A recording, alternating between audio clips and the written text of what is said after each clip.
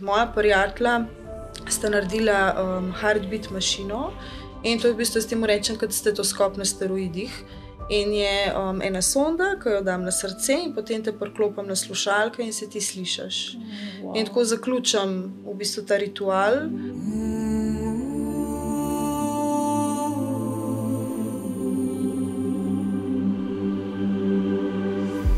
Tako da bi imela en starodaven spomin nekam nazaj, tvoj o tebi, ker jaz sem bila danes čistek. Ja, Martina pride, si imam več tremo, ker vedno imam, ko se začne snemati, ampak tek me je pa.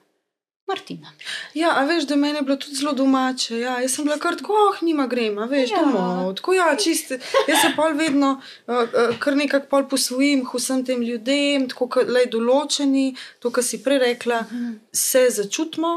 In se mi zdi, da se poznamo od nekje prej, ja, tako, ali, ali, ali imamo podobno frekvenco, ali neki, neki, neki je, ki nas kar skrdi. Ja. Ja.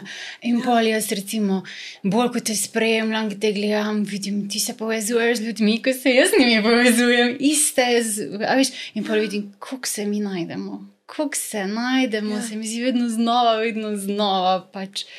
Pa tako, ful, ful me podpre misel. Um, enkrat je en moj friend rekel nič ni na ključje, vse je na ključ. Mm -hmm. Veš, in je, je, glej, klej, klej smo zdaj ja. te ključe mm -hmm. združili, to je to. Ja. Jaz tudi sem zadnjič dobil eno sporočilo, da je moja jogika, ki mi je napisala: Hvala, ker si prišla v moje življenje. Rekla, da ni, ne, da, ja, najni dušici sta si v tem trenutku rabili srečati. Tudi uh -huh. za me si ti bolj posebna, ni zdaj to samo hvala, ker sem jaz prišla k tebi. Uh -huh. Najni dušici sta se že pred vstopom na ta svet zmenili, da se boste zdaj pa zdaj srečali, si nekaj izmenjali, si nekaj uh -huh. dali. In meni je to res. In res, tako si ti zdaj tukaj, me, jaz nimam prav tako pred tabo, ne, nobene treme. A veš, kaj mislim? Ful, hvala. Tak, ker si mi. Ja. Jaz te res poznam, so, ne poznam te, ampak te čutim te. Na tak način sem mislila, da te poznam. Veš kaj, vse se mi zdi, da teme, ki jih, jih odpiramo, ne, k, uh mhm. -huh. stvari, v katerih govorim, ker sem našla en prostor pod soncem na socialnih medijih, kle sem se fully osvobodila in se nekaj čakaj, kaj sem zdaj jaz ritualnica, a, a zdaj morajo biti rituali, ne vse bo, vse to, kar jaz mhm. živim v tem, ne, in kle se pol povežemo, veš, imamo podobne temelje, isto misleči in že to je en magnet, ki nas združuje. No. In ti imaš fully močno občinstvo, no da. Veš, kaj res ima močno skupnost ja. in sem fulh hvaležna. Um, je sicer včasih, ne vem, če je to prava beseda delo. Ampak jaz res vsak mm -hmm. odpišem, slejko prej tudi, če pozabim, sem pol tako en dan, mm -hmm. ok, zdaj grem nazaj čez vsa sporočila in bom odpisvala, z ljudmi se bom ukvarjala. In ljudje so pol ja, tudi ja. nazaj, a veš, nekako je, da je dam, no, mm -hmm. tako ful, to, to kako kar ven dam, mm -hmm. tudi pol nazaj dobim. No. Ja, verjamem. Um, ja, je delo. Oziroma, če ga ne gledaš že kot fizično delo, je energijsko delo ker toliko daš, kot odpisuješ. En čas jih aljaš reče, koliko se ti da vsaki odpisati. Se aljaš, prvič kot prvič imam tako slabo vest, ker časi za en teden nazaj odpisujem, ker uh mhm. -huh. vidim, pozabim, uh mhm. -huh. pol odpisujem, nazaj se stokrat upravičujem. Pol eno in isti osebi se mi to isto zgodi, čez 14 dni, ko mi spet kaj napiše. Ampak ja, ampak um, ne vem, jaz na dolgo odpisujem. Jaz se ful, če mi nekdo napiše, kaj mi priporočaš, ne vem, sta glavo bolj jaz hočem že razrešiti, zakaj pa je glava bolj, da mi povej kaj več. In se veš, to nastajajo pogovori. Ampak ja, sto, mi je pa isto posebno imeti skupnost, ko jo ti ceniš, jo neguješ, ji daješ sebe. Na ta način želim tudi jaz vedno predstaviti nas, taki kot smo. Ja. Ni zdaj to, ker to je moje življenje, to je moja družina, to so moji običaji, rituali, delim to s tabo, mogoče ti je ok, mogoče boš iz tega lahko vzel zase. Um, če pa ne, pa tudi prav. Se mi zdi, da je krasno, da delimo stvari prek izkušnje. Mm -hmm. Veš, da, yeah. da ja. to res pol sedi na ena plodna tla, pa se lahko ljudje poistovetijo, pa se začnemo yeah. Ja. povezati na tak način, mm -hmm. kot pa da. da um, da tam nekaj reklamiraš v tri krasne, nekaj pa tam en dan, pa štej to argeto, pa drug dan to plotno črpalko. ja, ja, ampak če si pa, pa je tudi čisto ok, če si ti zdaj v tem trenutku toliko notor toplotnih črpalkah in prav verjameš v te toplotne. Če je to tvoja stvar, to tvoj detek tega poslanstva na tem svetu. Gremo. Pojdi v to. Ampak ja, ti si pa rekla, ne pa kar mešano na žaru, vsakega pomalo. Ja, avtentičnosti ja. manjka. No. Mm, um. ja. Čeprav se mi zdi, da en človek je lahko na več področjih razpršen, kot recimo jaz sem full ayurveda, yoga, naravni prahci in vse. Po drugi strani sem pa tudi, ne vem, imam full rada kakšne bolj energetske treninge, take bolj močne, ne vem, fitness style, pa, pač ne da gremo fitness, ampak to je tudi en del mene. Uh mhm. -huh. Tek, čutim, da sem um, na večjih koncih, um, ampak še vseeno gledam pa z enim skupnim imenovalcem, da sem tam srcem. Lifestyle, ja. ja. Tako, en dan srci. sem se tako počutil, ne vem, tiste dneve, ko bom pred menstruacijo, takrat bom. Cela v kokonu, mhm. zabubljena, nikamor ne bom hotela iti, nisem sploh odprta za karkoli, tako čutim že energijsko, uh mhm. -huh. sem drugačna pa tisti dnevi, ki sem pa najbolj razcvetena, tebi pa jaz šla, ne vem, hit trening delati, ker sem pač puf, puf, puf, energija šprica na vse strani. Mm, Tako da meni je to ful pretep všeč, res, ker si toliko iskrena in to me je pretep na socialnih mrežah. Redko kdaj se tako ustaviš, da res prisluhneš nekomu. Tebe sem pa prav čakala, da je na nas prehodu zaspal, da si pol stisnem, kak tvoj life, pa ga preposlušam v miru. Um, ker res to, ko ti deliš lepo iz sebe, um, se počuti. Je pa res, da sem ful presenečena. Ti ful večkrat odpreš kako tako um, težko, oziroma um, tako čist surovo, iskreno, realno temo. Recimo o podjetništvu uh -huh. in mhm. struggles, ki so biti podjetnik, o parkiranju, folk. ja, ja, to, so, to so te moje random scene. Ampak to poistovetim, ko se jaz stavim v takih situacijah. In jaz sem še recimo full problem šerat. Take stvari. Recimo, ker mi dva imamo tudi fulizivo zdaj s trgovinico in s folkom, strankami, ni da ni. Vsi mislijo, da je vse zastojn, um, popusti levo, popusti mhm. desno. Mm -hmm. Pač, to je treba naročiti, to je treba iz Amerike propelati, eh, zaveš, stvari so zadnji in zdaj ljudem povedati, da tudi firma da stoji mm. in ti si full. Kako kak kak si upala ta korak, da si to kar tako realno enkrat vem, da si imela full? Ja, veš kaj. Um, tako je, ne?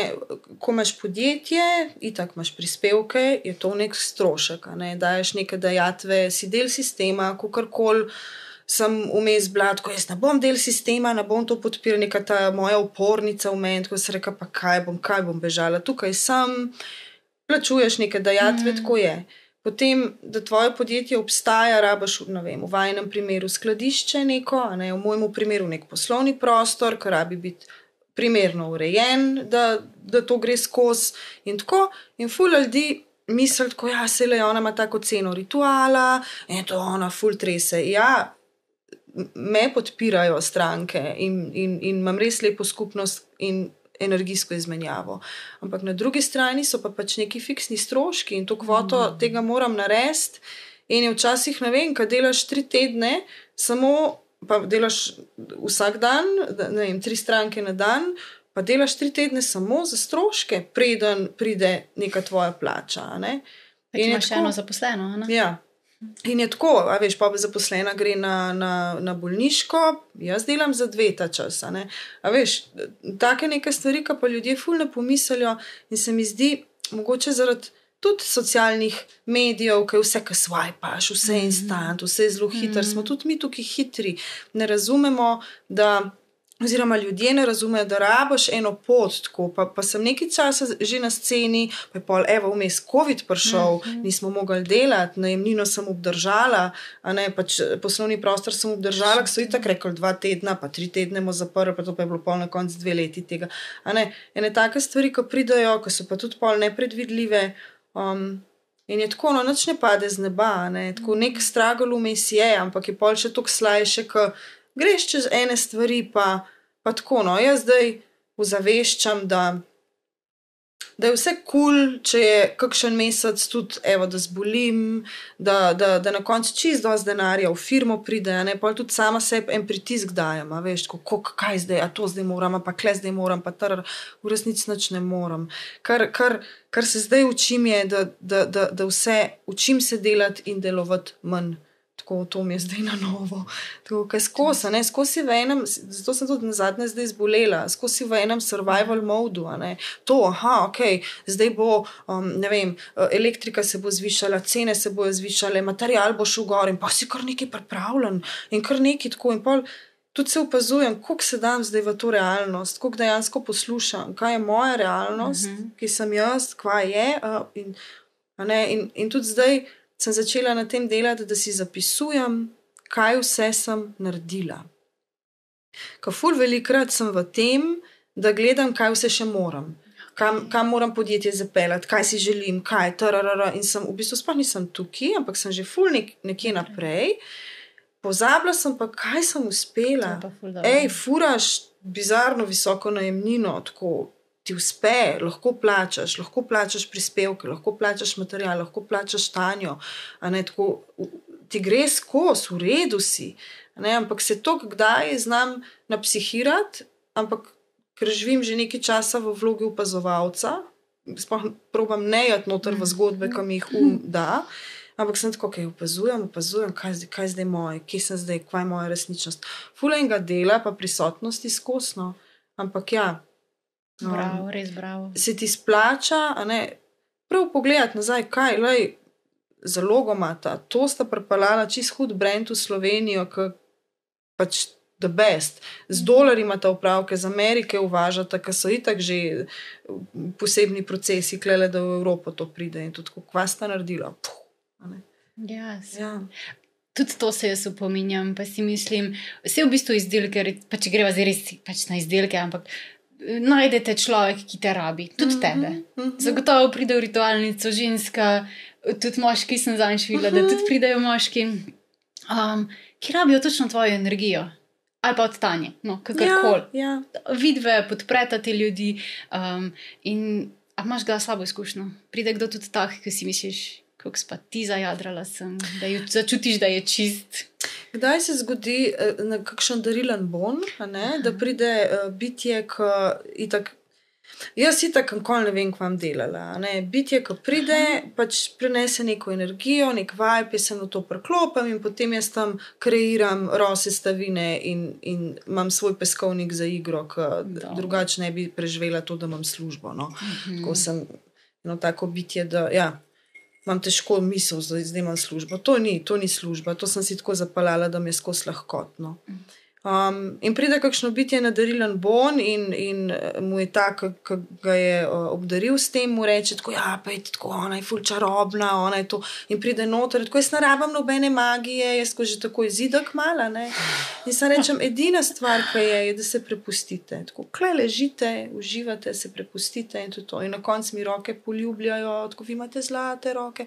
Tako, veš, um, jaz se zelo težko razložim, mene moš doživeti. Tako, a ne, jaz si dam tam eno playlisto, skozi jo, jo, jo menjam, ko mi full vibe, um, v bistvu plešem, nikoli ne rečem, da masiram, plešem po koži pač s svojimi rokami. Ne. In ne morem niti reči, da je to kozmetični salon, da je to kozmetika, to je, to je alkimija, kar se tam zgodi. To sploh ne paše, ne morem niti tako pokazati, to je zdaj to. Je zdaj to ne. Mhm. Ker je to v bistvu ene kreacije sprotno. In me ful podpre, lahko sem v ženski energiji mm. -hmm. skozi, kreiram iz tukaj ven, noč ni predvideno, ker ne vem, laj, ne pa me zapele v to glino, v uno glino. Ne, imamo toliko Ful dobro. dobrih sestavin, mame zemlje, no, je, ja, Ja. Me podpira veste, ta način. Res no. sem zdaj razmišljala, ko bomo začeli na en podcast, da naj te predstavim, vse vse je ne morem predstaviti. Vsi ne vem, kaj naj o njej povem. V smislu, da je težko v besedi. Tako si sama rekla, si mislila, boš že sama povedala, ampak verjamem, da boš že tekom celega podcasta se boš opisala. Ne moreš to zdaj strniti, kaj je ritualnica. Ja, tudi, veš, ona se tudi razvija. Ne? Ona, je, ona, je, ona je začela zelo. Zelo mlada in je najprej spadala v tipičen kozmetičen salon. Jaz sem od začetka tudi imela tako na ceniku depilacijo, A manikuro, ker sem bila tako, jaz sem salona, ne? jaz moram zdaj pač biti A res? salon in furati to, ja, kar neki. Tako pa sem rekla, hej, halo, nima šefice, sama svoja si. a ne. Potem sem enkrat nek intervju dala, mislim, da za revijo Storic, ne vem, če to sploh še obstaja, nek intervju in pol berem, s časoma ta intervju najdem v eno staro revijo in je tako odblo. Da si želim delati z zelišči, s temi stvarmi, s poparki, s tinkturami, zeliščnimi in to. Pa si izberem, čakaj, zakaj si jaz to želim, ne? Duit, mm -hmm. pač kaj. In sem šla v raziskovanje, ok, na tem področju je ta glina, imajo tukaj skop, je, je ta energija, eh, ta rastlina ima to energijo, ji vlada ta planet. Tako in pa sem šla noter čist. In tudi jaz se razvijam, jaz se, kako ne rečem, modrejša retujem z leti. In tudi moje znanje se, se skozi. Dodaja, in pa sem, ah, kako bi pa lahko še to in še to dodala. Veš, nikoli ni, jaz tudi bitju, kak meni pride, rečem, nikoli ne bo isto. Ne? Naslednjič, ko špršu, bo, mhm. bo malo drugače, tako bom, bom eno drugo rastlino imela, je zdaj sezona za to rastlino, ki nas podpira. Ne? Pa zelo sem taka.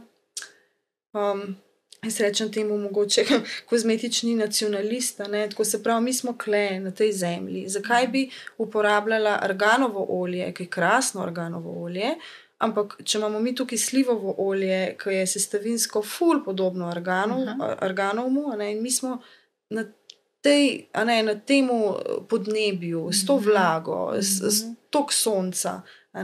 In pol vedno iščem nekaj, kar je primerno za slovenska tla.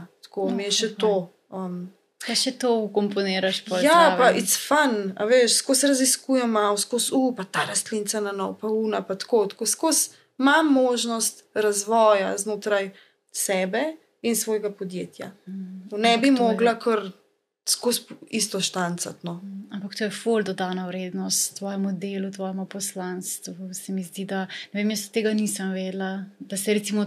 Tok uh, fokusiraš na same sestavine. Mislim, vem, da ti je to ja. pomembno, ampak tok pogledaš na vse to. In to je, to je zlata vredno v današnjem Viš, svetu, ko je vse krštancano, pa kar se je m, ti, pač, kar profesionalna kozmetika priporoča, pač vsi po moje pokupijo najprej tiste osnove. Ja. Moš pa res srč narediti.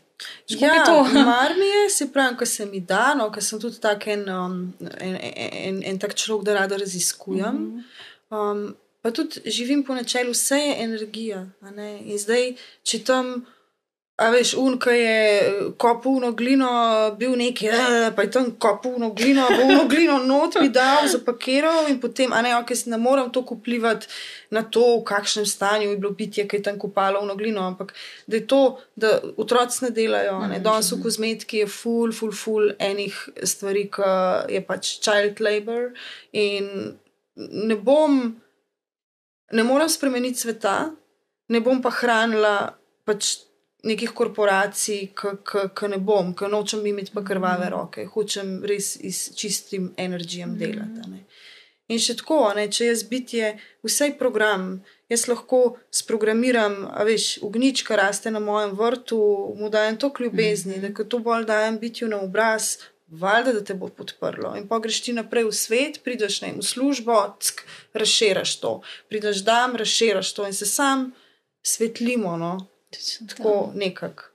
Kako lepo si to povedala. Jaz ne morem opisati in razložiti ljudem, ko začnejo oni mamundi prahce imati, uh -huh. zakaj so drugačni, zakaj uh -huh. primajo eno tedno, uh -huh. ker so isto z energijo, zato ker je omejena količina, ker pač če je sezona so, če ni sezone, ni, če raste, raste, ne more to zdaj kar štancati. In uh, isto, energija tam so roke, gole roke, ki to pobirajo, uh mhm. -huh. ki to pripravijo. In točno to, kar si rekla, da je ja. ljubezen, da je energijo. To pride sem in te podpre. Zato pa deluje. Poleg tega, da jaz podam še svojo ljubezen zraven, ko to zapakiram, prekadim stvari, da ja, gre vse najbolj čisto in z dobrimi nameni naprej. Mm, tega, te res razumem. Se mi zdi, da bi tako mogel delovati. Ne? Če že delaš neki ideje, ne? Ne, meni je bilo vedno inspiracijo, prej še kot ko sem freelancala kot make-up artist, pa sem bila v kakšnih družbah, pa so ljudje iz produkcije govorili, mlajši od mene, govorili. Ja, ko mi čakam, da bom v penzionu. Pa se tako, ja, kvad. Veš, da sem zdaj, ne vem, v 20-ih, pa jaz tako krevam po penzionu, če ga moj tako dočakam, ampak tako, like, čez 40 let, ne. A veš, veš, kakšna stiska je to in pol v telesu se, in, a ne. Itak, da um, ja, da je, Mm. kar je vse. Ja, itak. Ej, povej mi, zakaj pa sploh kozmetika? Odkje ta želja? Ja, um, ena stvar je. Um, mm, moji starši so zelo ljubeči um, in tako, ampak mami je imela, učiteljica je in je imela. Kdaj kakšne vzgojne scene. Aha, okay. Um, Kaj to pomeni? Kaj to pomeni? Ja, um, to pomeni ura, eh, vedno smo imeli sestro uro, v Mhm. uri spat, eh, Ok. vsi, vsi so zmer imeli um, počitnice, mi dve smo celo šolsko knjižnico domov dobile za prebirati in tako. No, pač imela je neke te, tak, tak, tak, te vzgojne eh, zadeve. Um, in kadar je šla pa ona k kozmetičarki, je pa prišla dam in je bila cel teden tako kaputrček. In smo takrat ful vse dosegle. In sem bila tako pismo. Že kot otrok sem opazovala, kje je moč, una ženska tam. a ne. Ona je prišla vsa premasirana, pa prav spomnim se po eni korenčkovi kremi, takrat je bil un Afrodita, dr. Tent, pa eh, skratka, eni trije brendi so bili za dobiti, to, kar je zdaj kozmetika, to je čist bolan, kaj je zdaj to ratal. In sem bila tako, no, pol. In sem jaz takrat rekla, že kot mehna izbom kozmetičarka, pa spomnim se, vedela, kaj to je. Pa sem imela pa krasno socialno delovko v osnovni šoli, osem let, ko sem delala, še ni bilo devet let takrat. Um, in v nekem sedmem razredu, ko smo se pogovarjali o poklicih, je potem ona zrihtala, da vsak je šel v tisti poklic za en dan, kjer ga je, si je zamislil. ne. In polo, veš, fanti so šli, to, to bi ful mogli početi. Fanti so šli, recimo, ne vem, v avtoličarsko delavnico, pa je pol videl, da, ne, da tam se bo zadušil. Pa, a veš, punce, ne vem, jaz bom pa medicinska sestra, pa so pol tam videle, kva vse tudi to pomeni. Skratka, vsak je šel v en poklic in kakšni so pol šli, na, smo šli na te šole.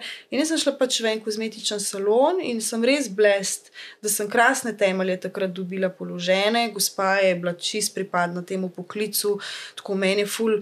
Meni je ful vibe opazovati ljudi, ki so v tem svojem fokusu in imajo tako neke te svoje gibe. Tako ona je imela take lepe gibe in sem jo tako gledala, vsa mehna tam. Um, in to, pa sem šla na srednjo kozmetično.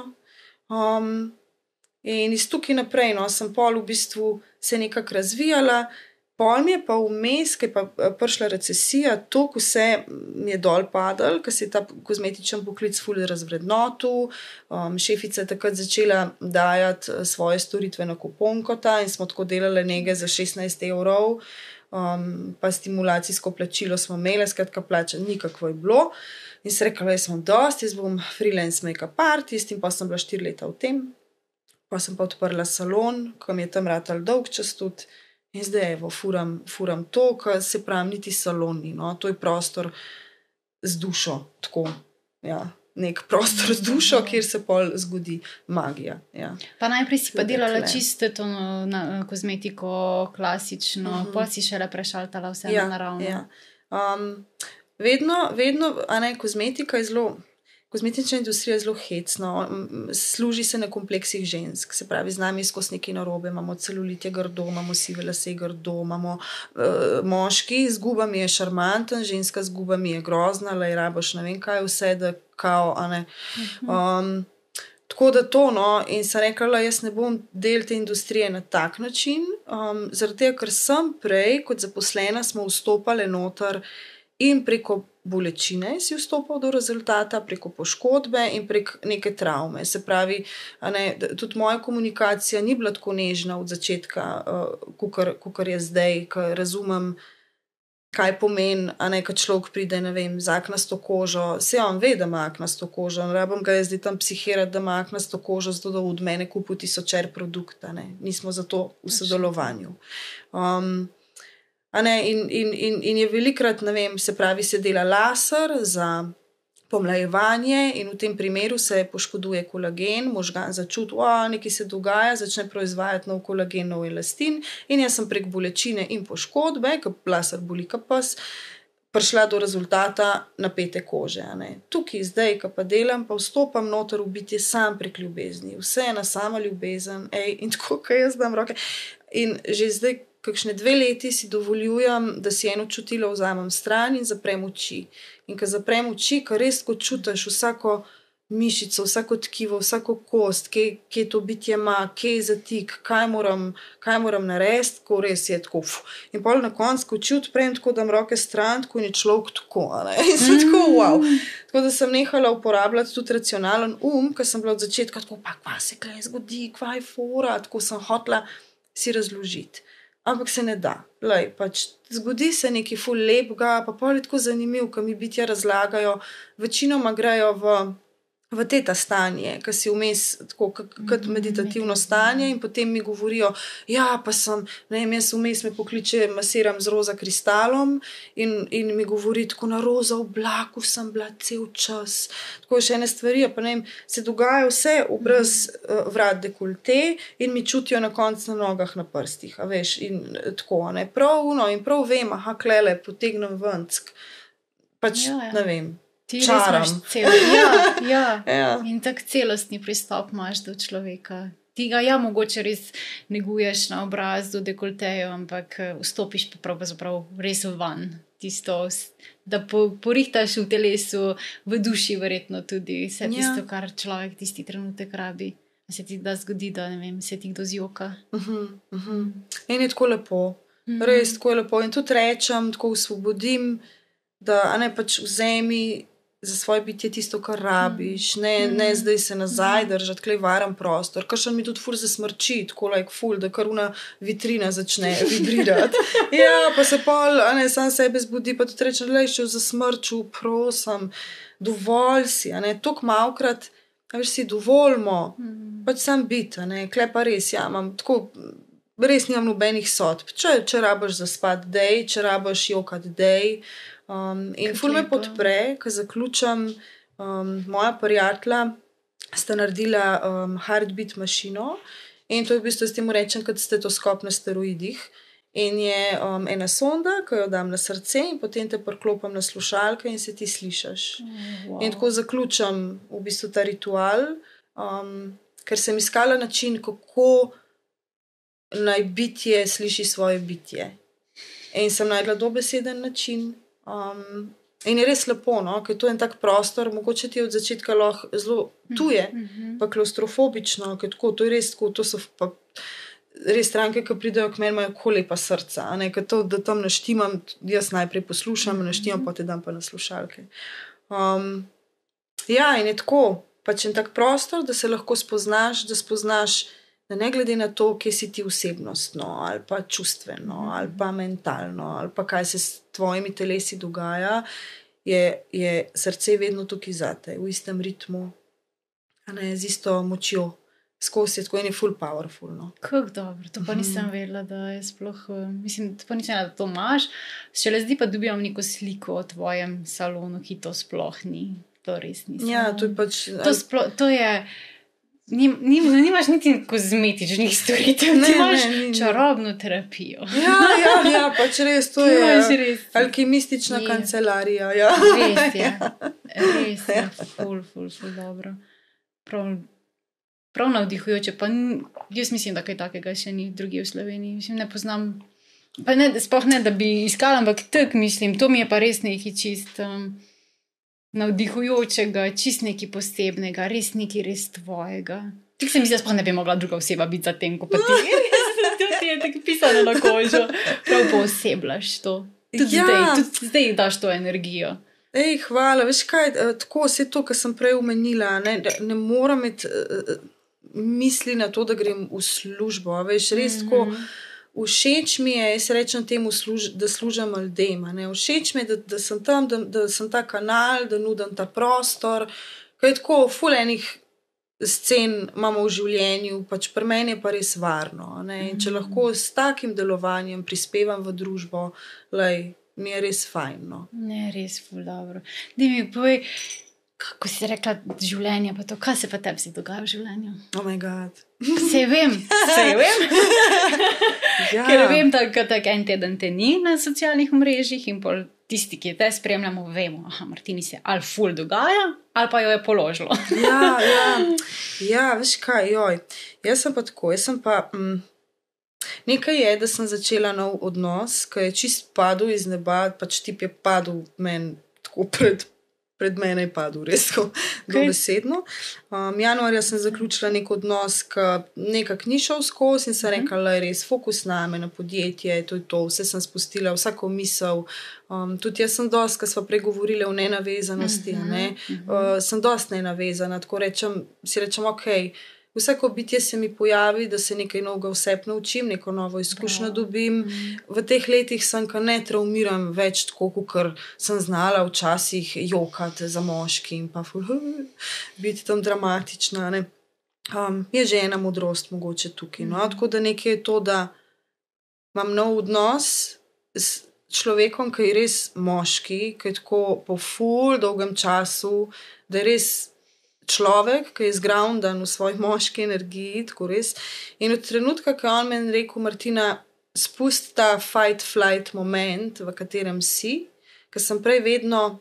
Mogoče zaradi določenih odnosov z moškimi, skozi bila v neki pripravljenosti, mm -hmm. ok, aha, ka, ja, ki ni te neke stabilnosti, ne? pa pa ženska prevzame to stabilnost, pa pa jaz malo prevzamem moško vlogo, pa pol moja ženska trpi, pa terara sem se klele malo zgubljala, imam zdaj čist kontra izkušnjo, da imam res toliko zgravnega moškega. In v trenutku, ko je on meni rekel, Martina, spust fight and flight moment, tako varna si z mano, si varna jaz bolim, jaz čez dve ure potem zbolim, kam je adrenalin popustil na isti način, kot sem zbolevala do zdaj, kadarkoli sem šla na dopust. Ker dokar časa sem jaz tu, no, ha, ok, firma, tak, tak, tak, stranke, to je podela, nun sem odpisala, to sem naredila. Ne, da sem jaz v tem doingu, mm -hmm. sem jaz karošca. In pa, ko pa grem na dopust, ali pa zdaj le prvič, ko se mi je nov odnos zgodil, držko, jaz na fertik, mislim na fertik, angino sem imela, ampak me res položil za 14, mm. nisem bila čist nikakva. Um, in zdaj sem v bistvu nekako na eni tej poti, ki je tudi podobno malo izi izgorelosti. Tako tudi vidim, da na novo se učim, v bistvu nikoli nisem znala postaviti meja, nikakršnih meja ali, ali pred familijo, ali pred sogovornikom nasprot, da mi nekaj ni, da, da rečem, ja, to se mi pa zdaj le ne zdi karkoli, tako jaz ne znam meja postavljati. Tako, v mojem svetu vse možen, vse vedno možen. Zdaj pa vidim, da so določene moje meje.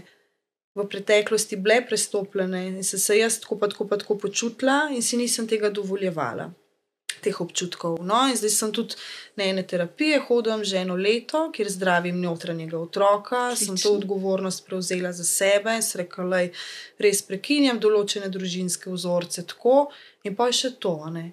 In se mi je tako malo nakopičalo vsega in se vse nekaj laj. V Izi, ful imam podporne ljudi, ki prihajajo v ritualnico, pa ki mi sledite mm -hmm. na, mhm. na socialnih uh, omrežjih in je vse kul. Cool. Sam jaz sem se rabila sprostiti, ki za me ne, ne delovati v mojem svetu zaenkrat še um, pomeni, da sem lena. Ker imam mačkan ta vzorci iz družine, moja mama, ankolni, ankolni namer, ona to skozi, to zdaj le je vrt, ona je skozi odzun, to je vse mhm. super umana. Um, jaz pa že nekaj časa živim ciklično, se pravi po, po luninem ciklu svojem in pa ciklično glede na letne čase. In to zimo nisem mirovala. Prejšnje zime sem dosti mhm. hibernirala, sem bila tako, to zimo sem bila jaz, na polno, na polno. Tako in vidim, ja, je da, da je vse kar malo ven.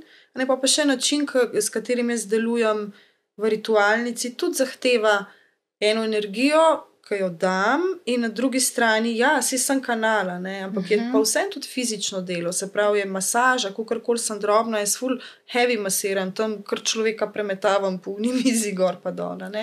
Um, in je pa pol še to. Tako da se nekaj, laj, počas, počas. To svojo jogo deli, da prideš v moč nazaj, meditiri, srčka si posluši, tako vse je kulno. Cool, tako da se zdaj sproščam v tem, da fule poskrbim zase, uh -huh. stvarim rečem ne, ljudem postavljam zdrave meje, kle. Ja, to je ful fertik zaljubljena sem. Kako je to fajn slišati? Tek si si res dala eno ful težko nalogo, v bistvu pa izziv, pa te je pa življenje tik nagradilo. Tako ja. v trenutku, ti si rekel, paduje pred mene. Pa te čon je prišel h meni na nego. A ja. Ste to ti pravim, da je prav padel je pred mene. On je, ena frendica ga je naročila in on pride k meni na nego in jaz tako takoj, ko pride not, jaz nekaj začutim, jaz ko omaj ga ne kaj, kaj, kaj. In tako je, tako sem ga delala s tresočimi rokami, pa to kleti je kaj skušam. um, Ja, se je začutil tudi on, tako, no, pa, pa, ja, pa so se pa po nekem času slišala. In ne bom, sva se nekako Ja, prepletla, krasno. no, tako da je propaduje. Ne res podarjen. Prav res, Podarjen. noro. Ful ti želim, da se ti sam upgradeš vse to in ti občutki, in da raste sam še v nekaj lepšega, trdnejšega in da boš res lahko ti. Ker to je nekaj, se mi zdi, Ja. v zvezi nekaj najlepšega, da si lahko ti v vsakem delčku trenutka varen, um, svoboden, da lahko vse poveš, kaj ti leži na duši, pa veš, da z druge strani ne bo zdaj eh, obsodbe, karkoli. Tudi če se druga oseba ne strinja, recimo mi dva zalaže mama, včasih jaz vem, da del- določene stvari so moje, pa vseeno delim z njim, uh -huh. pa Mhm. vem pač on mi te stvari pusti. Pusti, gre, ne vem, bom zdaj izpostavila, ne vem, kristali. Uh -huh. To je moj svet, v tem se jaz poglabljam. On pač to priznava, dovoljuje, mislim, mi dovoljuje poslušati o teh zadevah, vem pa, da to ni njegova stvar. Ampak Ja. vem, da lahko jaz govorim ali pa o svojih rastlinicah, še pa še pa še pa še, me bo sem poslušal, vse bo absorbiral. Vem pa, da to ni za tematika, ko bi jaz šla se ful poglabljati z njim. In vem, da imam podporo, karkoli bom To. naredila. In tako si reka varnost. A ti lahko je meni tako banalen primer, kjer je pa meni kliknilo. Ja, da ima moškega ob sebi, pa je res banalen, vas se smejiš, kako se češ. Ampak jaz sem bila vedno navajena, da tisto flašo od kumarc moram vloženih ofent jaz sama. Mhm.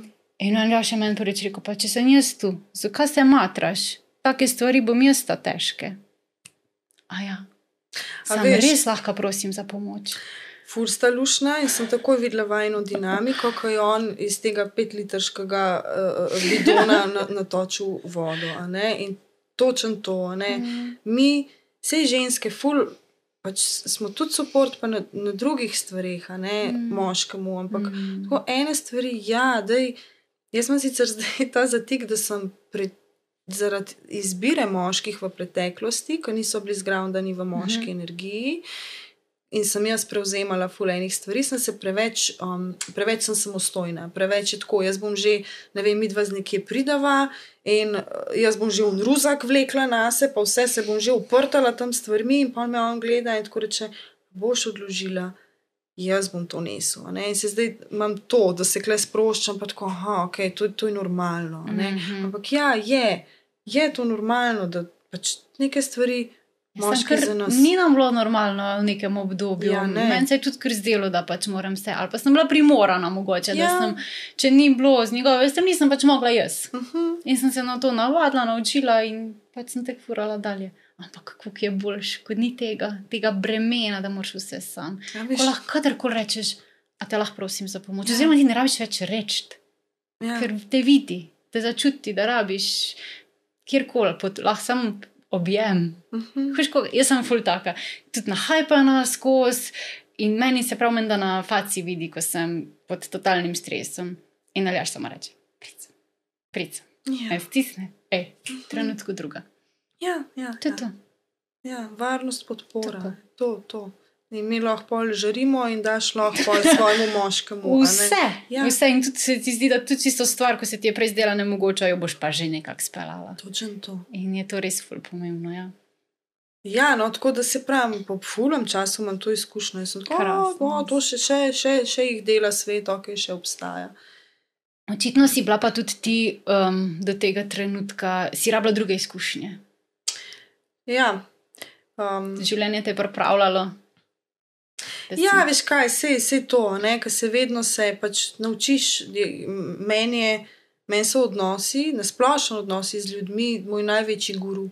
Ko vidim, da je kle, aha, to me, to me je trigiralo, kaj zdaj, je to zdaj moja, je to zdaj moj notranji otrok in kje je tako. In res je, ker sem, ker sem prevzela odgovornost za, za, za, pač, za svoje mentalno zdravje, no, nekako, pa, pa, ja, pa tudi za svoje čustveno telo. Um, in začela res na enih stvarih delati no? Mhm. in potem spuščati. A veš, mi tudi life že spremembe uh, prinesel. a ne. definitivno. Ja. Veš, kam je pa ful zanimivo. Nekam si šla, kamor tudi mene ful vleče. Indija. No, se jaz po Indiji nisem več ista. To je to, jaz sem prišla čist, čist sitna nazaj. Kaj se je zgodilo? Čist sitna nazaj. Ej, le, tam je, nič ne štima. Nič ne štima, vodo nimajo, pitno kanalizacije nimajo urejene, smeti so vse posod, kapaciteto sl- pljuč imaš slabšo, zaradi tega, ker je luft ni kakav, Eh, zrak relativno smrdi, ampak vsi so srečni. Vsi so srečni, vsi se smejijo, tam ima eno kozico in on je srečen, tam ima una, ne vem, pometa z neko uh, metalco, ki si je z enih vejc naredila pometa tam po tleh, ona se smeji. Tako vsi so srečni. A veš, pa, pa pridem sem nazaj, sem mogoče to malo bolj uzavestila. Mhm. Je pa folk tako ustana dol. Um, lej, res, res imamo lepo zemljo. Večinoma je, je, je gozdna ta naša dežela. Uh, skoraj lahko iz vsakega, vsak izvir lahko piješ, skoraj iz vsake reke lahko piješ. Tako fulje.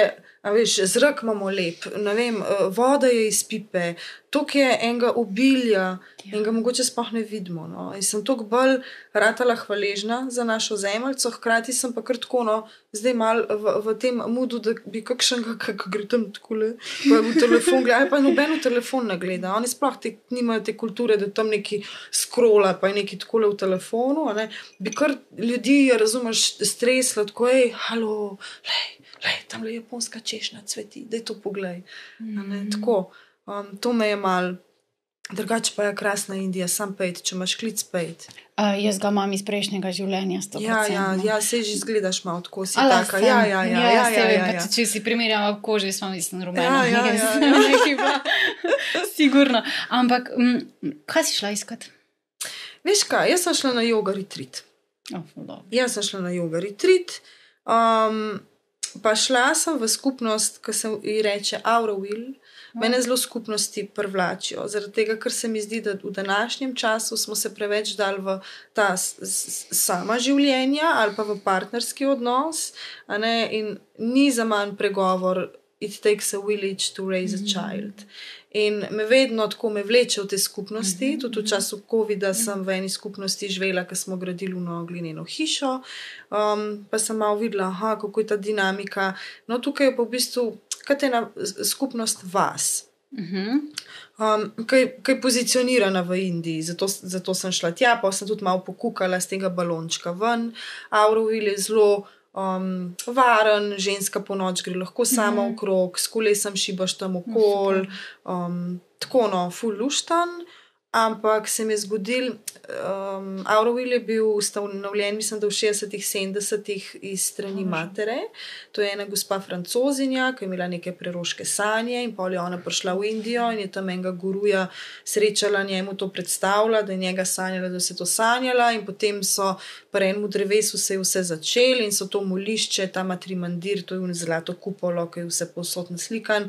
So tisti najprej naredili, pa so pa v krogu začeli um, skupno zgraditi. In ona je bila z namenom ustanovljena, da naj bi bili tukaj vsi isti, ne glede na versko pripadnost, barvo kože, karkoli, da vsi živijo v unitiju. Um, pa sem pa videla, no, pa sem pa tako tri dni bila tako, ja, vsi smo eno, vsi smo eno. Pa sem pa videla, da ima zelo monopol francozi, a neka ma, mama, mama je umrla, no, in Mhm. mama je bila francozinja in zdaj malo oni mislijo, da so oni klele malo. Um, res? ja, ko, ko francozi pridejo, se hrana spremeni, bolj, um, se bolj obilje zgodi. Hmm. Um, uh, nizke službe imajo še vedno indici, nizke v smislu uh, vem, Mhm, čistilke, ja, razumem, sobarce, razumem. uh, kuharce. Tako, ne, ne boš videl uh, belca tam noter. No. Tako da sem pol snela malo rožnata očala in sem rekla, ok, malo je tako vse skupaj. Mhm.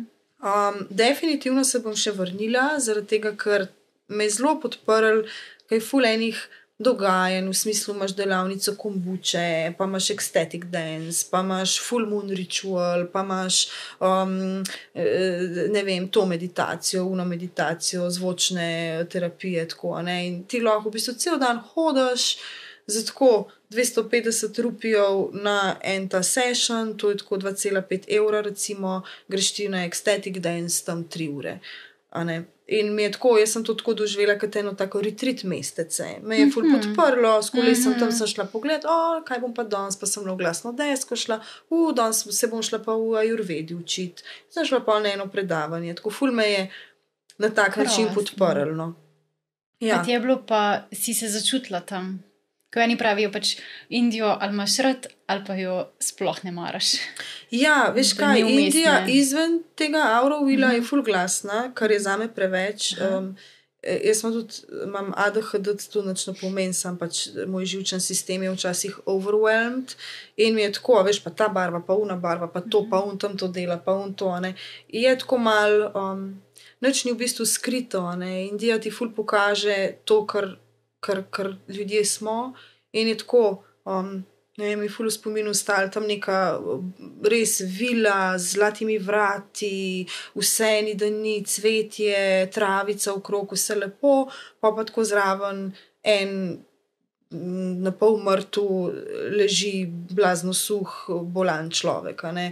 a veš, tam ni nič, a ne klepar nas je vse tako, v čem skrito. ne. Mhm, Tam je pa, mhm. oni so resnični v tem, kar so. Um, pa tudi blazno me privlači njihova vera. Mm. Um, because everything is a celebration. Klepar nas, pa z vsem spoštovanjem do te vere, nač, ne pač je Jezus umrl na križu za naše grehe, vse je tako bed. Um, Ja, ne. ful. Tam je pa vse, tam je pa vse. Ja. Ja. Sem doživela prvo polno luno v januarju in oni so imeli puđo, temu rečejo puđa, to je ta celebration njihov, in potem so po enih kipcih polivali gi maslo, mleko, uh, vsi so bili na kranclani, plesali so.